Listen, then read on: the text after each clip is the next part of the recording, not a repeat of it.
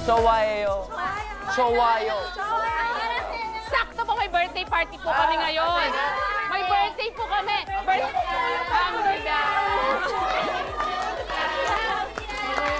Meron po kami inihandang pagkain para sa inyo. Game. Sige po. Muna tayo. Uwi muna tayo. Muna Ah, pwede po ba kami mag ano, mag-introduce muna po kami? Yes. Gusto mo po ano, mag-hi sa inyo. Ano nga sa'yo? Annyeonghaseyo. Sobrang natutuwa po kami kasi nakita namin kayo. Hindi namin nakala na may ganito klaseng ka-tight-knit Filipino community dito. Ah, ako nga po pala si Piolo Pascual. Wow. Ay- Ayaw niyo ba, ba- ayaw mo ba sa akin? So, Hindi, ako po si Robby. Ako si Donnie Pangilinan ko Si Shine Cook po in Korean, Cook Son Young. Yeah, so nice to meet you. Nice to meet you. 아, 저는 필리셀입니다. Pwede ba makilala kayo? Oh, ako po si Lisa. Ako po yung mga ate-atehan nila. Rap sing, yes. Ako po si Annalisa Rap sing, rap and sing. Ako naman tagapagluto dito. Siya po ang cook. Tagasayaw na sa church. Taga, sayaw? Hindi ako naniniwala. Pasapal. Saan ko nila sapal po?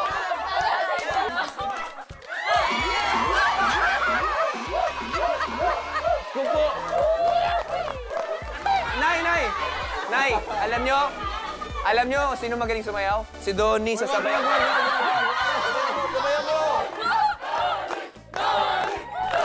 Ay, grabe. Nirehearse namin yung mga two months. Ito, mahilig talaga si Robby sa mga ganyan. Do Ay, si Donnie magaling dyan. Wala akong choice pero ako hindi mag-perform eh.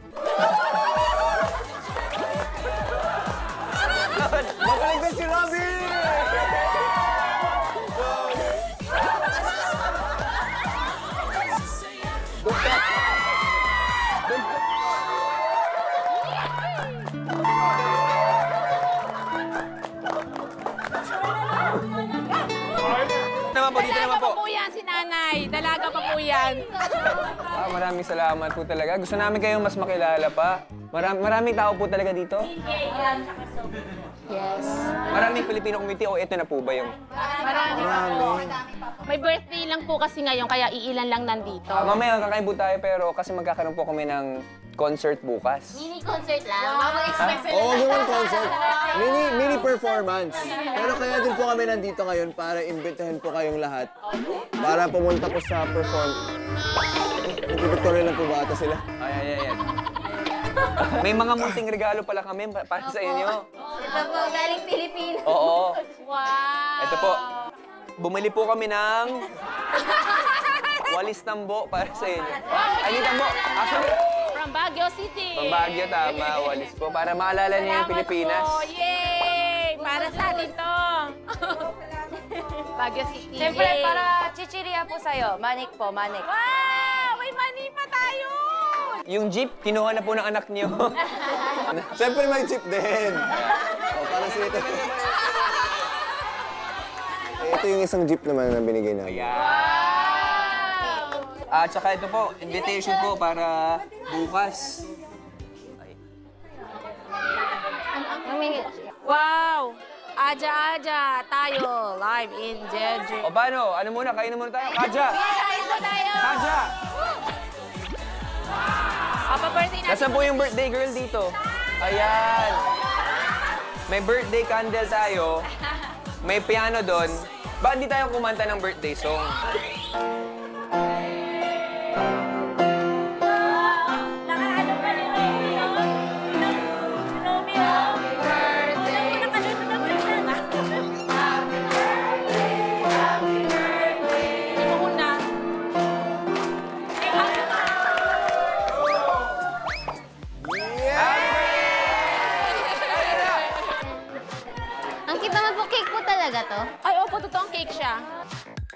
Saan gusto mo?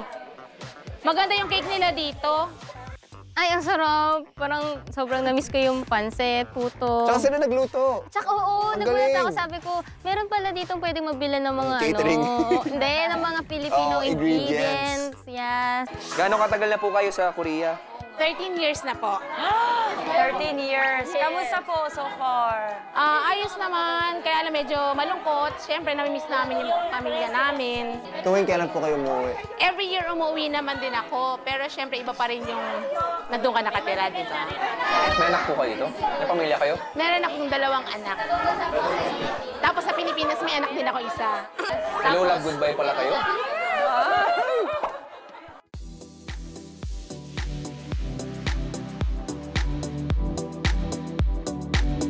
Siyempre, nung nalaman namin na magkakaroon ng performance in front of the Filipino community, personally, ako natakot ako. Kasi hindi naman ako nag, nagpe-perform talaga eh, nag-host ako.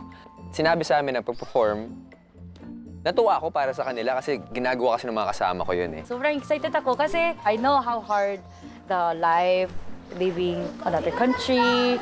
So, ako naman po na Koreana, nagkatira sa Pilipinas, may pusong Pinay naman po ako. I'm so excited to perform. I hope they parang enjoy na sila. I don't think we can sleep tonight. Mag- Ako happy ako na nabigyan kami ng opportunity para ma-entertain sila, yung mga kapwa Pinoy namin. At alam ko naman na um, very, ano naman, eh, very welcome yung mga Filipinos pagdating sa ganun. Ako, different experience for me kasi first time ko performing abroad. I'm used to performing sa mismong bansa natin, seeing the crowds there. But it's nice also that we get to meet, you know, these OFWs. Ngayon ko lang nalaman na ang dami palang ah, nandito na may mga anak na ah, may mga asawa na Korean. Kasi we were able to talk to a few as well and hear their stories. Nakaka-inspire lang talaga kung gaano sila ka-hardworking.